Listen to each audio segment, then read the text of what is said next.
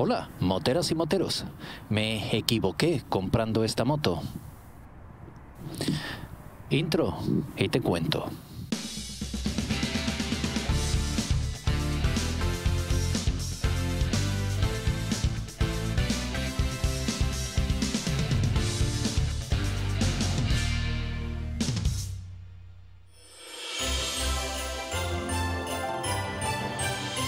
Vaya preguntita, ¿verdad? Con la que he empezado este capítulo. Y es que creo que todos, absolutamente todos, llegamos a plantearnos esta pregunta alguna que otra vez.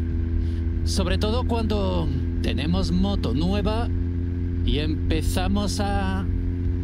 ¿Cómo se me pega el camión? Vamos a darle un pelín más rapidito.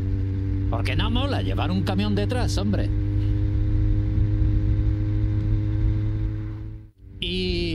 Aparece alguna avería y empiezas a decir, ay, creo que me he equivocado comprando esta moto.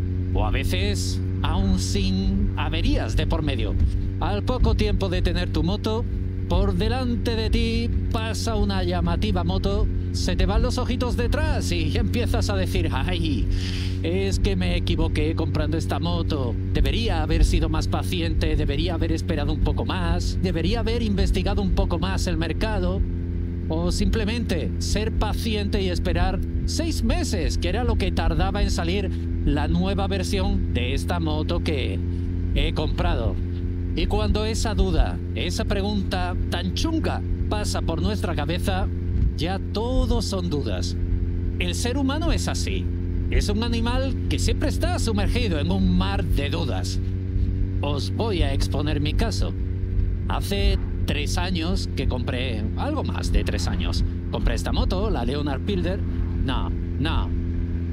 Mirad, vamos a 70 una carretera convencional, un camión adelantando, que no es precisamente pequeño, y la gente acaba diciendo, las motos de 125, autovía, un peligro, un peligro.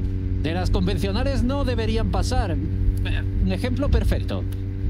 Hubiera preferido 100 veces ser adelantado por un camión en autovía que no aquí. Bueno, a lo que voy. Hace tres años compré esta moto por internet. Sí, y además sin verla. Y cuando digo sin verla, me refiero a que no es que no pudiera ver esta moto que compré en persona. Me estoy refiriendo a que ni siquiera llegué a ver a la Leonard Pilder ni en la tienda ni en la calle. Y por entonces apenas había fotos. Y mucho menos vídeos. Alguna que otra reseña hablando sobre la moto, pero poquito, poquito más.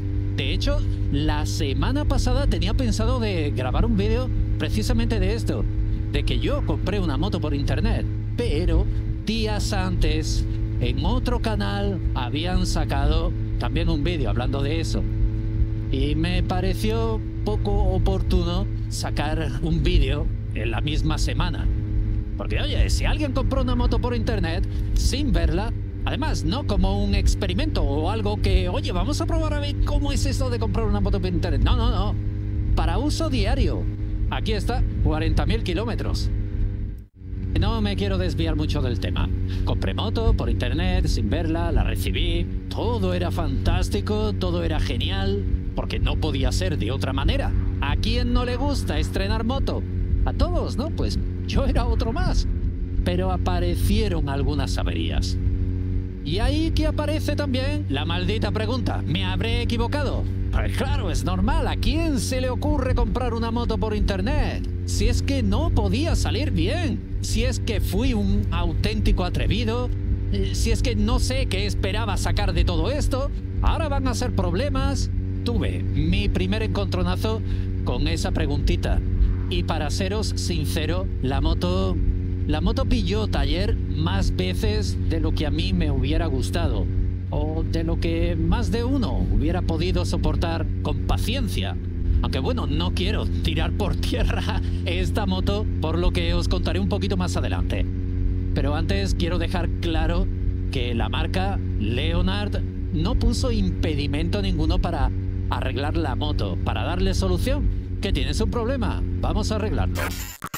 Pero después de esas averías, vuelve a amanecer, vuelve a salir el sol, las flores expanden sus pétalos y todo es súper maravilloso. Cualquier duda de haberme equivocado en la compra de la moto desaparece y vuelta a disfrutar. Hasta que otra avería aparece o hasta que, ¿qué te digo? Otra moto se te cruza por delante de la vista y te quedas encandilado.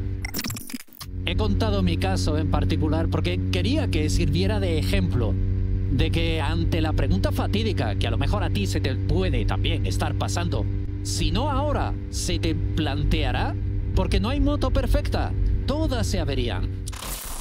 Si en algún momento te surgen estas dudas, decirte que es normal, que es algo habitual. A veces estás arriba, a veces estás abajo, a veces con dudas y a veces con certezas. ¿Me arrepiento de haber comprado esta moto? Pues... Si ahora, y justo ahora, tengo que contestar a esa pregunta, te diré que no. No me arrepiento. Cuando me preguntes, a lo mejor dentro de un mes, tal vez... No sé, puede ser, a lo mejor te digo que sí. Hay gente que hace vídeos de observaciones diarias, es decir, vídeos en los que muestran, comentan lo que sucede en la calle, a su alrededor. Vale, pues mis vídeos de pensamientos también va de eso. De comentarios no de lo que ocurre en la calle, en el exterior, sino de lo que pasa por mi mente, que al final también puede ser lo que pasa por la tuya. Y darnos cuenta así de que en realidad nos parecemos todos mucho más de lo que parece. Y es que da exactamente igual lo que hagas. Si crees que te has equivocado y acabas vendiendo la moto, a lo mejor te has equivocado vendiéndola. A lo mejor deberías haber tenido un poquito más de paciencia y quién sabe si la situación hubiera cambiado. O todo lo contrario, a lo mejor te has quedado con la moto pensando que el día de mañana todo será diferente, que la situación puede mejorar y ese día de mañana nunca llega.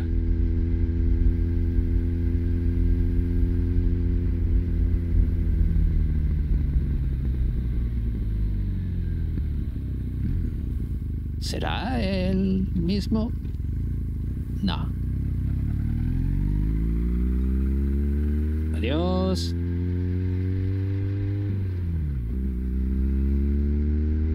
Me quedé callado porque digo yo, espérate, estoy teniendo un déjà vu. Esto lo he vuelto a vivir la semana pasada, sin ir más lejos. ¿Cómo cerraría este capítulo? ¿Qué conclusión sacaría? Una ha quedado clara, que la duda es completamente natural y normal, tenerla, experimentarla. Y que tomes la decisión que tomes siempre estará bien.